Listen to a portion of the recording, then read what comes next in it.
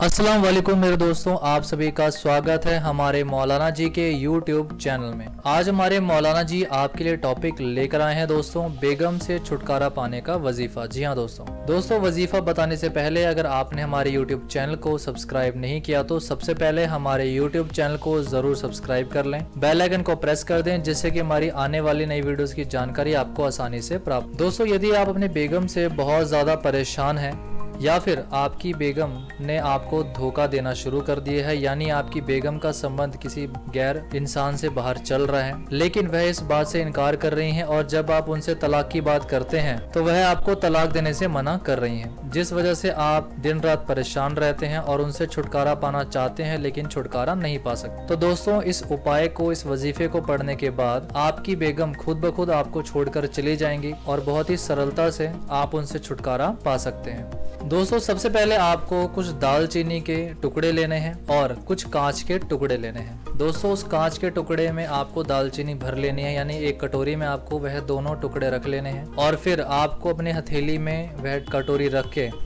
इस वजीफे को ध्यान से अपनी बेगम का चेहरा याद करते हुए पढ़ना है। आपको बोलना है अल्लाह सल्ली अला सलातुन तुहली बिहा कुर्बती वतु कदी आपको यह अपनी बेगम का चेहरा पढ़ते हुए इस वजीफे को आपको ग्यारह हज़ार बार पढ़ना है।